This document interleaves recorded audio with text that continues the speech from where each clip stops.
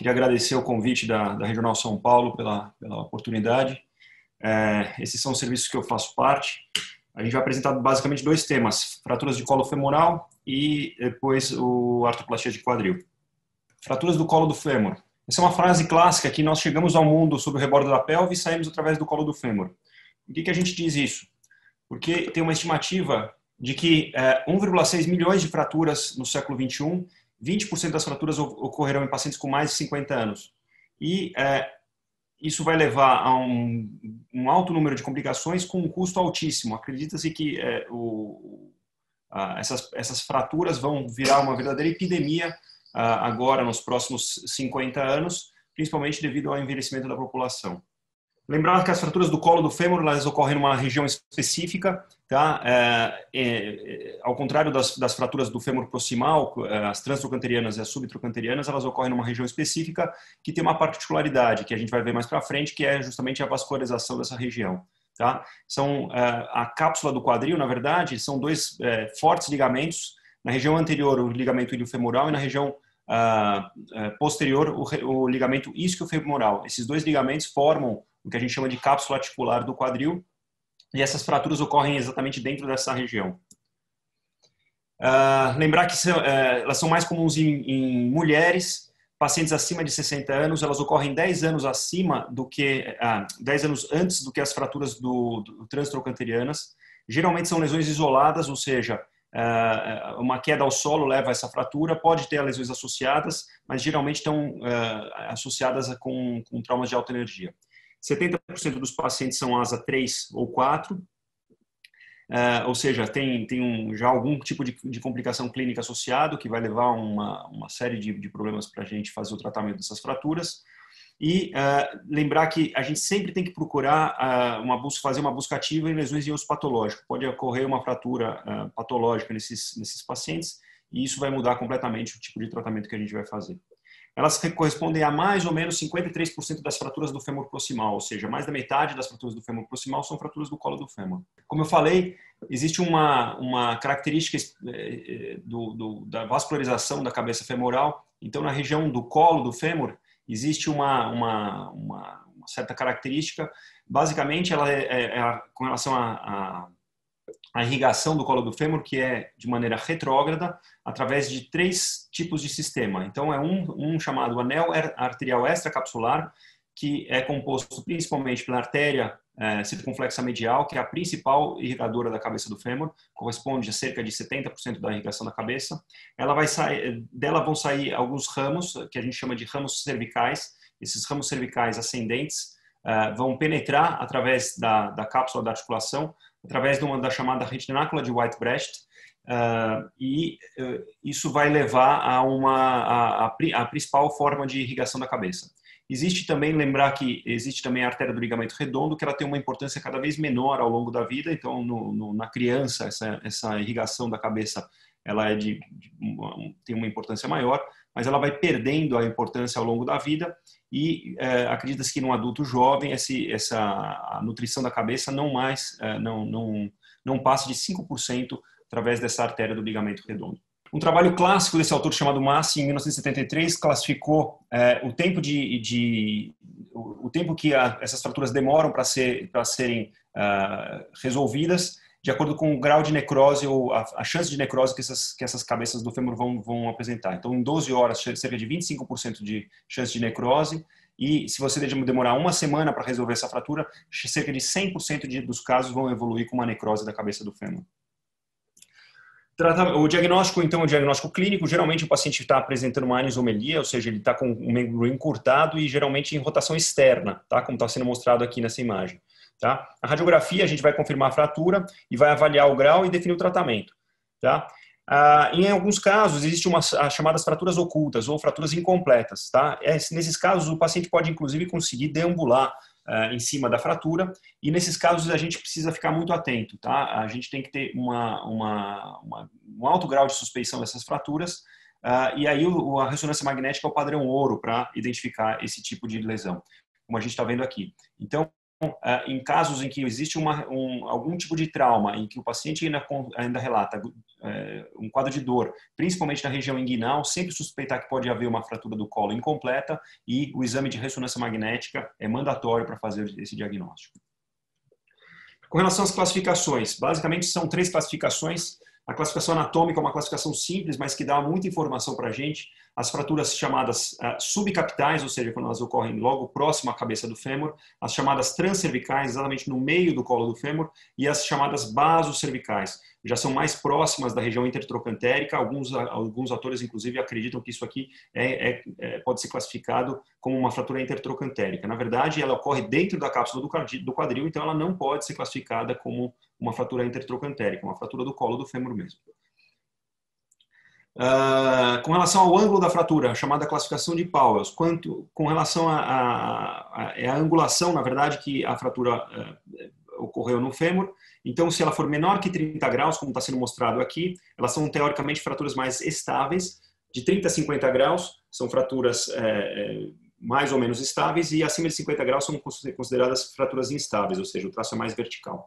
E a classificação que a gente utiliza no, no nosso dia a dia é a classificação de Garden.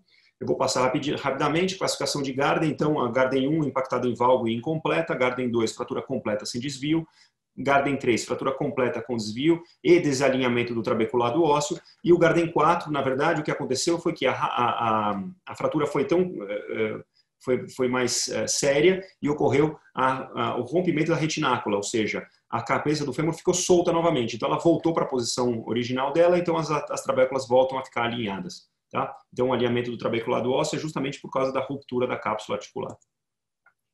Com relação ao tratamento, a escolha do tratamento vai depender da idade do paciente, das condições clínicas, atividades de vida diária desse paciente e, obviamente, da classificação da fratura. E quando deve ser feito esse tratamento, o mais breve possível.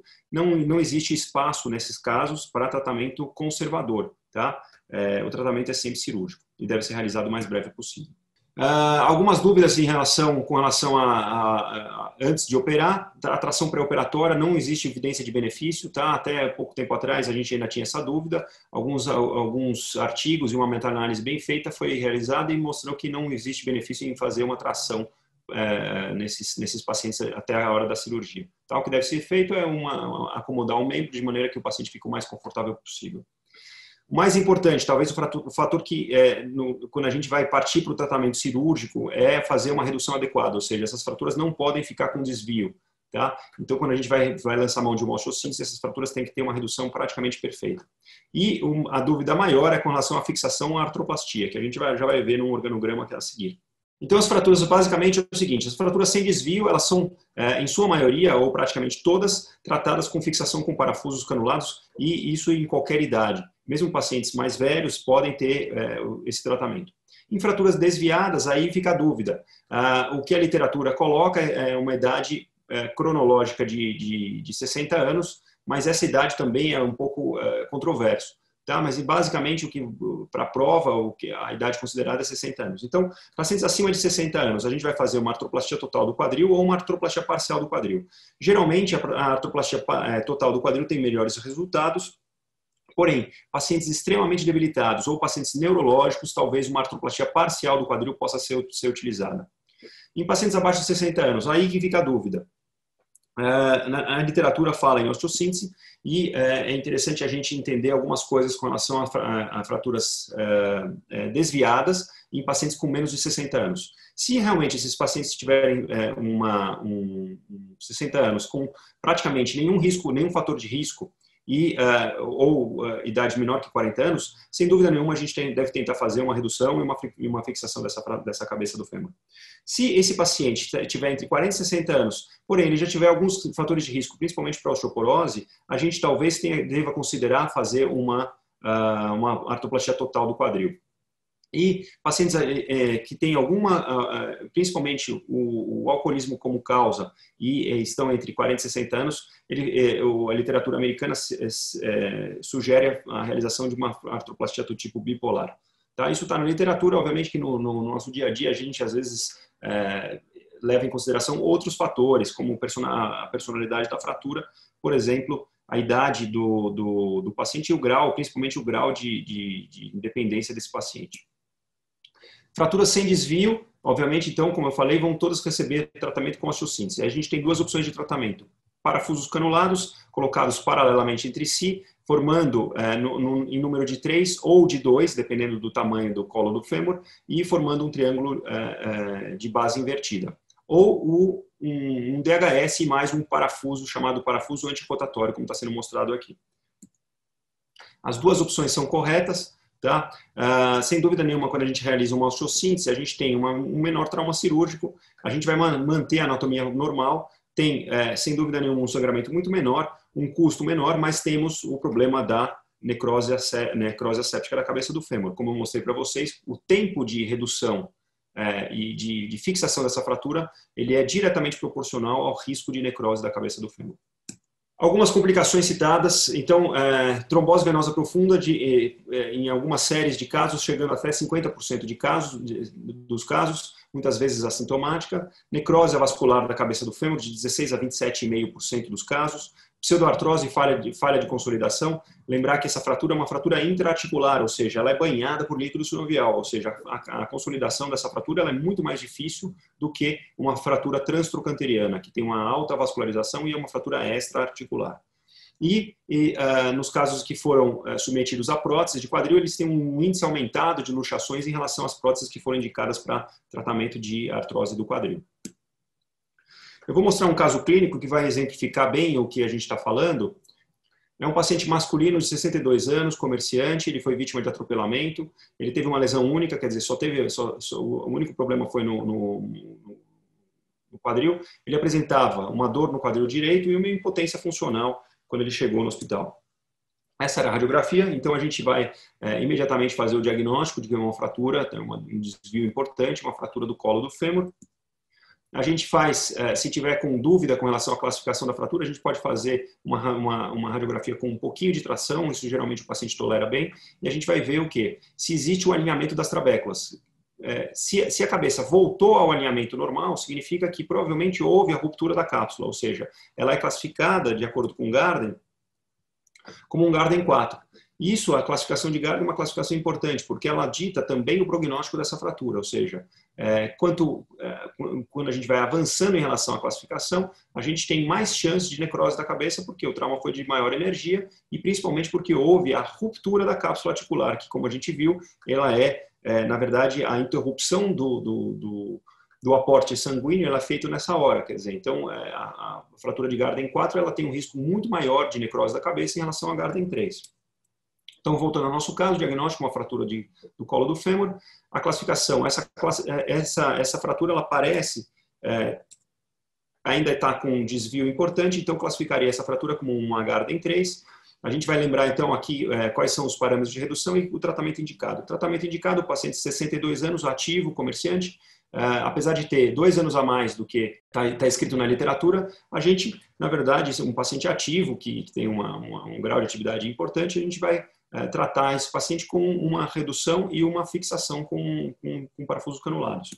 Lembrar então de um, de um dos parâmetros para redução uh, da, da cabeça femoral, chamado índice de Garden. O índice de Garden é, uma, é, um, é um, ângulo formado entre o longo eixo da diáfise, na verdade, a cortical medial da diáfise, a gente faz uma linha, e as trabéculas ósseas em relação à cabeça do fêmur. Esse ângulo deve ficar acima de, de, de, entre 140 e 160 graus no perfil e entre 150 e 180 graus, uh, no, desculpa, no AP, entre 140 e 160 e no perfil entre 150 e 180 graus. Tá? E para isso a gente vai lançar mão de, algumas, de alguns parâmetros de redução. Quer dizer, no AP a gente, tem que, a gente deve deixar o mais valgo possível, tá certo? Para chegar o mais próximo possível ao ângulo de, que Garden citou como o ângulo ideal, que é 160 graus. E no perfil a gente vai tentar uh, posicionar o nosso, a, a, nossa cabeça do fêmur uh, o mais próximo possível de 180 graus, entre 150 e 180 é o ideal.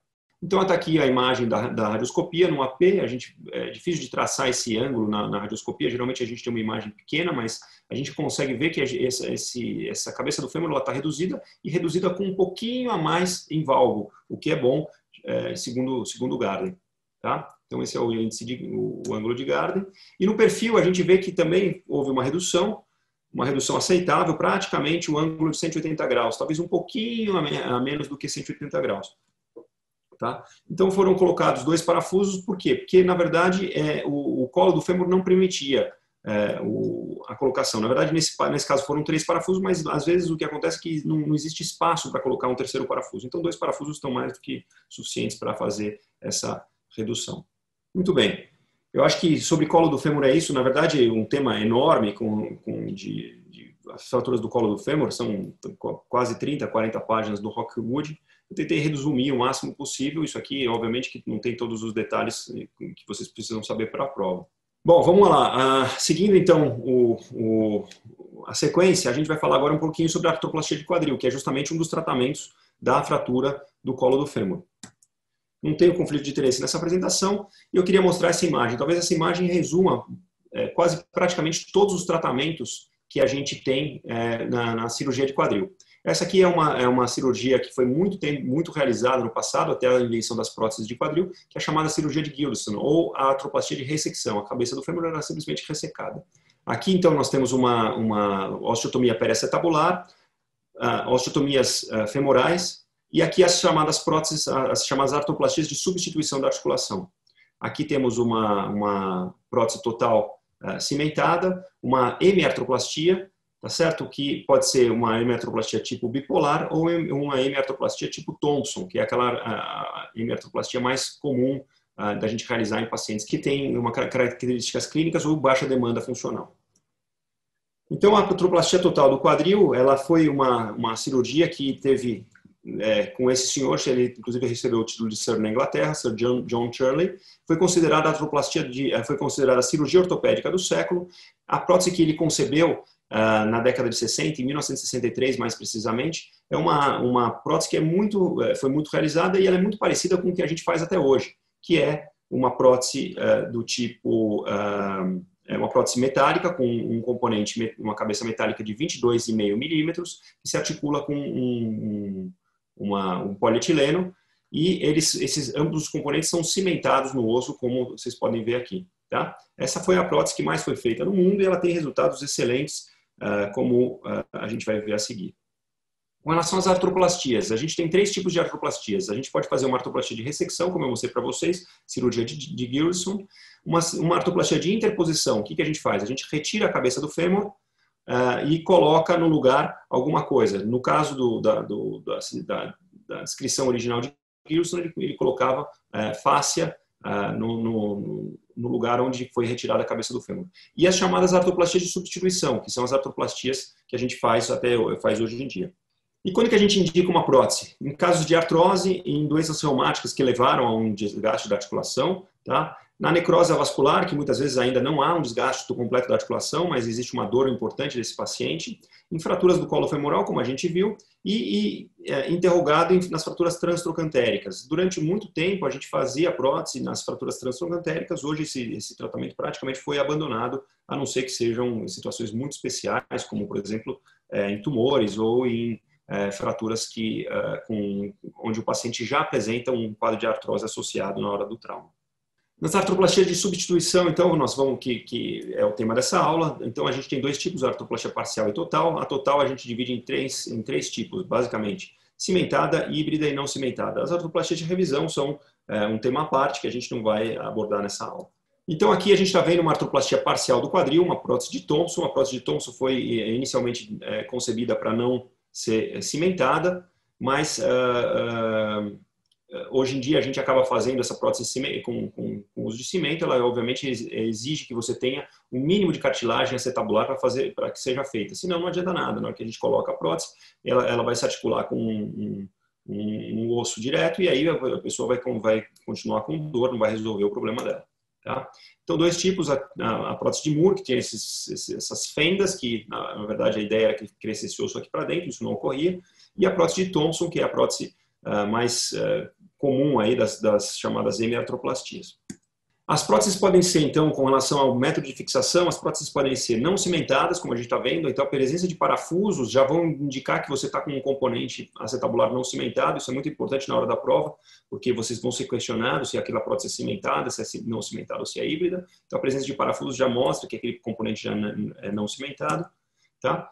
As próteses híbridas, então, o componente, o componente acetabular ele é não cimentado e o componente femoral ele acaba sendo cimentado. Existem as chamadas híbridas reversas, mas são próteses de exceção, não vai com certeza cair para vocês. Uh, mas então, uma prótese híbrida, o componente acetabular cimentado, é não cimentado e o componente femoral cimentado. E uma prótese total de quadril totalmente cimentada. Então, a gente vai ver cimento tanto no acetábulo quanto no fêmur. Tá?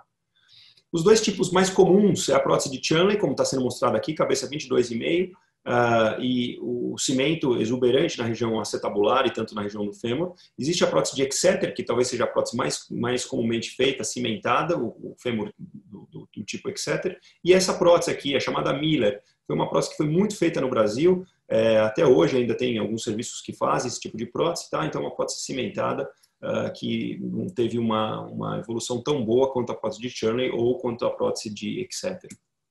Tá? Com relação à superfície de contato, os tipos de superfície, a gente tem basicamente três tipos de superfície hoje que a gente utiliza. Metal com polietileno, talvez a mais feita, é, cerca de 70% das próteses feitas no mundo são desse, desse tipo, metal com polietileno, tá certo? Essa é a prótese inicial de Chunley e ela continua sendo feita até hoje. Cerâmica com polietileno. Ao, ao, trocar a cabeça de metal por uma cabeça de cerâmica, a gente diminui drasticamente, como a gente vai ver mais para frente, o, o, coeficiente de atrito e o coeficiente de desgaste desse, desse polietileno. Metal com metal, praticamente abandonadas essas próteses. Alguns, alguns lugares, principalmente nos Estados Unidos, ainda fazem. É, existe um tipo específico de, de, de metal-metal, que é a chamada prótese de resurface, não, não vem ao caso agora, mas ela praticamente não, não, não é mais usada e a prótese de cerâmica com cerâmica, tá? Essa ainda é uma prótese que é bastante usada e ela tem uma característica que é a, a, o menor coeficiente de desgaste de todos os tipos de superfície. Essa aqui é um slide interessante mostrando que quando a gente coloca uma cabeça de metal em contato com um polietileno, a gente vai ter um desgaste, um polietileno convencional, um polietileno mais simples, e a gente vai ter um desgaste de mais ou menos 200 micrômetros por, por ano de desgaste desse polietileno. Quando a gente coloca um polietileno tratado, existe um tratamento feito no polietileno chamado crosslink, é, e ele, é, enfim, é um tratamento é, industrial. Esse próprio polietileno fica mais rígido e ele tem um desgaste menor, a gente vai diminuir em 10 vezes o desgaste desse, desse polietileno com uma cabeça de metal. Quando a gente coloca uma cabeça de cerâmica com cerâmica, a gente diminui em 200 vezes o coeficiente de desgaste é, desse, desse, é, desse sistema. Ou seja, a cabeça de cerâmica parece ser, junto com um, um liner, ou seja, com o, o acetábulo de cerâmica também, parece ser o que tem o menor desgaste. Com relação à prótese, a gente nunca pode fazer uma prótese sem fazer um belíssimo um planejamento pré-operatório. Tá? Normalmente ele é realizado através da superposição de um filme de acetato nos componentes de uma radiografia simples da bacia. Quer dizer, a gente faz uma radiografia em AP da pelve, a gente pede uma radiografia que as asas do ilíaco estão sendo cortadas, como está sendo mostrado aqui, e a gente sobrepõe um filme de acetato sobre aquela radiografia. E ao fazer isso, a gente tem uma ideia dos componentes que a gente vai utilizar. Tá? É, o principal objetivo do planejamento não é prever o tamanho desses componentes, mas sim, isso é feito durante a cirurgia, através do, do, do tipo da, das fresas que a gente vai utilizando e a gente chega ao tamanho do componente. Mas sim, o objetivo principal é isso aqui. É a escolha e o posicionamento correto dos componentes, ou seja, às vezes a gente tem que utilizar componentes maiores, menores, ou com maior offset ou com menor offset. Tá? Ele vai antecipar problemas intraoperatórios, se eu estou com uma, uma, deformidade no fêmur ou alguma coisa assim, ele vai evitar complicações intraoperatórias, previne, doença, é, previne diferença no comprimento, nos comprimentos dos membros e diminui o tempo de cirurgia. E, sem dúvida nenhuma, os resultados são melhores quando a gente faz um bom planejamento pré-operatório. Tá? Eu vou passar com um pouco mais rápido, a gente já está apertado no tempo, mas basicamente é, as, as próteses cimentadas têm algumas complicações, alterações hemodinâmicas e ventilatórias, tromboembolismo pulmonar, necrose óssea pela reação exotérmica aqui do cimento, ou seja, o cimento esquenta, maior tempo cirúrgico, uma soltura da interface cimento-osso, e a técnica de cimentação é proporcional aos resultados. A gente sabe que tem três técnicas, três gerações de cimentação, como os senhores vão ter que saber para a prova, isso está bem explicado no, na, na, literatura, e os resultados dependem do design da prótese e do tipo de cimento. As próteses não cimentadas, então, existe um, uma, uma, é, uma porosidade nessas próteses que vão justamente fazer com que exista o chamado ingrowth, ou seja, o, o osso cresça para dentro dessa prótese tá? Tanto nos componentes é, acetabulares quanto nos componentes femorais. As duas, as duas devem, ser devem ser fixadas inicialmente através de um press fit, ou seja, as próteses são ligeiramente maiores do que o orifício onde você está introduzindo. E ao fazer isso, você fixa ela provisoriamente até que seja é, feito o ingrowth, ou seja, o crescimento ósseo para dentro da, da, da haste. A grande complicação das próteses não cimentadas é justamente uma fratura intraoperatória por causa disso. A gente tem que usar uma, uma prótese um pouquinho maior do que o tamanho do, do, do osso que a gente está é, fresando e nessa hora pode ocorrer uma fratura é, intraoperatória. As, como complicações, as solturas assépticas, a complicação mais é, comum das próteses, depois de algum tempo elas acabam soltando. Existe um mecanismo de soltura muito conhecido, que é através do debris do polietileno. Esse debris ele sai da, da através do, do, da, do da cúpula de polietileno, esse debris de polietileno acaba caindo na articulação e ao cair na articulação existe uma reação de corpo estranho e essa reação de corpo estranho vai levar a uma osteólise da região proximal do fêmur e também da região é, periacetabular. Essa osteólise vai levar à soltura dos componentes da prótese. Então, o mecanismo de soltura de uma prótese é muito bem conhecido e é, basicamente é por causa justamente disso aqui, dos chamados debris das, dos componentes da, da, das artroplastias. Ela é multifatorial, vários, vários, é, várias causas, mas é, o posicionamento dos componentes, sem dúvida nenhuma, é uma, causa importante. É, a reação imunológica do paciente também é uma causa importante e alguns, alguns fatores como a, o tamanho da cabeça. Como outras complicações, a gente tem que citar sempre a, a soltura séptica, ou seja, depois de algum tempo pode haver uma infecção. É, essa infecção pode ser é, precoce ou tardia, existe uma classificação especial para essa, para essa, essa complicação. Depois a gente vai, a gente pode numa outra oportunidade falar sobre isso. Tá? Diagnóstico é feito através, obviamente, clinicamente e alguns exames, é, principalmente laboratoriais, e o exame de cintilografia óssea mostra isso. O tipo de soltura da prótese é, é, é séptica ela é diferente da soltura asséptica. Tá? Outras complicações, a fratura da haste pode ser no intraoperatório, a fratura periprotética, que pode ser no intraoperatório, ou a fratura da haste, que, que geralmente é mais tardia e pode ocorrer uh, alguns anos depois. O desgaste dos componentes, como eu mostrei para vocês, então depois de um tempo aquele desgaste vai levando a soltura da, do, dos componentes ao redor e eles podem inclusive sofrer fraturas e ficarem com, com, com fragmentos soltos dentro da articulação. Tá? A luxação é uma, uma, uma complicação relativamente rara, prevalência de 3%, e ela pode ser precoce ou tardia, e a maioria ocorre até três meses da cirurgia. Geralmente, as, as luxações tardias tendem a necessitar de revisão cirúrgica. As, as uh, luxações precoces não precisam e maior na via de acesso, isso é uma coisa interessante, maior na via de acesso póstero-lateral, 6,9% em relação, a 3,1% nas, nas vias de acesso anterolateral. O que, que significa isso? Que a via de acesso posterior ou póstero-lateral tem um risco maior de luxar a prótese do que a via de acesso anterolateral. Para terminar, então, para não, não, não, não, estender muito no meu tempo, eu queria discutir algumas coisas. Eu fiz é, cinco questões aqui que a gente vai poder discutir. Dentre as alternativas a seguir, qual a contraindicação absoluta para a realização de uma artroplastia total do quadril? Então, artropatia neuropática, insuficiência total ou parcial da musculatura abdutora, infecção ativa da articulação do quadril e infecção crônica de baixo grau no quadril contralateral. Essa questão, a resposta está no campo, é, página 180.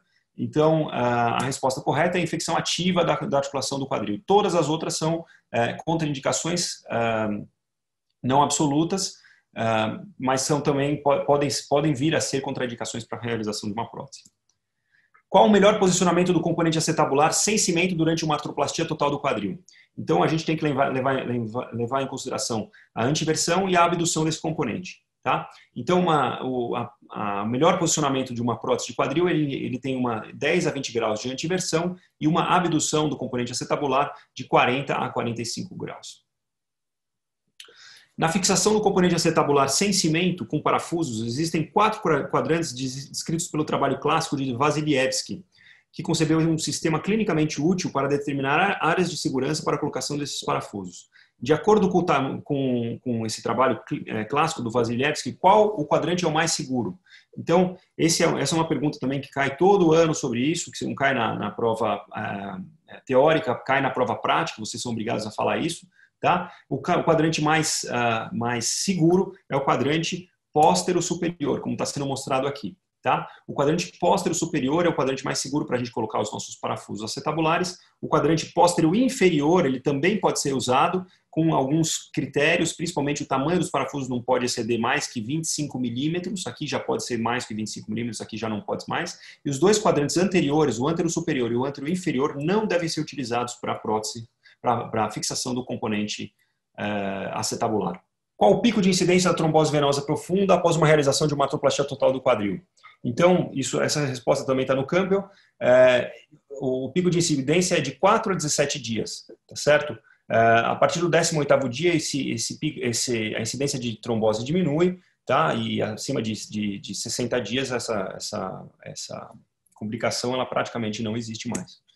A discrepância de membros inferiores após uma artroplastia total do quadril é preocupante a partir de quantos centímetros para o risco de paralisia do ciático? Meio, um, um e meio, dois ou dois e meio? Resposta correta a partir de 2,5 centímetros. É óbvio que o, a altura do paciente também deve ser levada em consideração. Pacientes mais baixos têm uma, um risco assim, é, que, que, começa antes disso, tá? Mas a resposta está no câmbio a partir de 2,5 centímetros de, de, é, de alongamento de uma, de um, após uma prótese de quadril, a gente está com risco de uma lesão do nervo ciático. Pessoal, espero que vocês tenham aproveitado. Infelizmente, o tempo é curto para a gente apresentar tudo sobre prótese. É, então, a fratura de colo, a literatura para vocês é, é, a, é, a, é, o Rockwood e a fratura e, e, as artroplastias, a literatura é o Campbell. Tá bom? Espero que todos, todos tenham uma boa prova e agradeço muito o convite.